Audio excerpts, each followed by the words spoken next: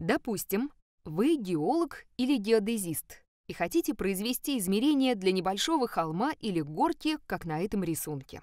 Вы знаете, что от этой точки до этой основание этой возвышенности равно 60 метрам. Длина более крутого склона от вершины до основания составляет 20 метров, а более пологий склон от самой высокой точки до основания холма имеет длину 50 метров. Вы можете измерить это на местности.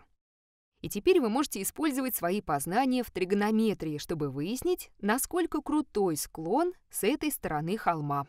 Каков угол наклона этой поверхности относительно уровня Земли?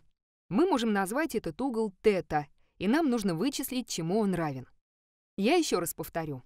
Вы знаете длины всех трех сторон, и вам нужно найти угол при основании. Думаю, для решения нам понадобится теорема косинусов.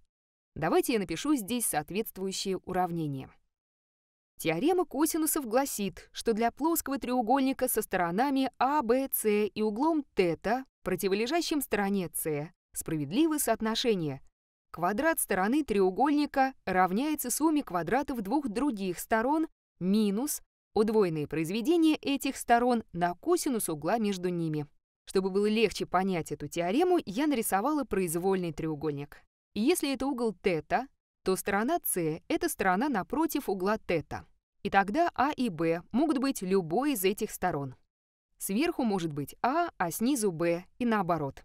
В нашей формуле стороны А и Б равносильны, но сторона С привязана к углу θ, поскольку она должна быть напротив этого угла. Итак, мы хотим выяснить, чему равен угол θ в нашем примере с холмом. Сторона С должна быть напротив угла, то есть она будет равна 20 метрам. Давайте за сторону А возьмем длинный пологий склон длиной 50 метров, а Б — основание длиной 60 метров. И теперь мы просто воспользуемся теоремой косинусов. Итак, получается 20 в квадрате равно 50 в квадрате плюс 60 в квадрате минус 2 умножить на 50 умножить на 60 и умножить на косинус тета. У нас есть почти все значения переменных в этом уравнении. Здесь только одно неизвестное — угол тета. Давайте посмотрим, сможем ли мы решить это уравнение. Итак, 20 в квадрате — это 400, 50 в квадрате — это 2500.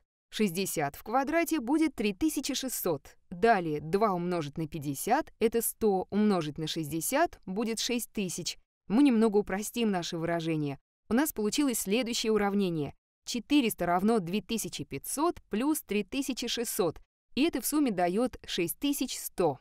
Далее минус 6000 умножить на косинус тета. Теперь мы можем вычесть 6100 из обеих частей уравнения. Итак, справа у нас получится минус 5700. В левой части 6100 и 6100 сокращаются. Далее пишем минус 6000 умножить на косинус тета. Теперь можем разделить обе стороны на минус 6000. У нас получится косинус тета равный минус 5700 разделить на минус 6000. Мы могли бы разделить числитель и знаменатель на минус 100. Так что и числитель и знаменатель оба станут положительными. Таким образом, косинус тета равен 57 разделить на 60. Оба эти числа делятся на 3. Итак, косинус тета равен 19 двадцатых. Но мы могли бы и не упрощать это выражение, потому что для вычислений нам все равно понадобится калькулятор. Итак, нам нужно вычислить арк-косинус от 19 двадцатых. Итак, мы получили 18,19 градуса. Обратите внимание, что калькулятор может быть переключен на градусы, а не на радианы.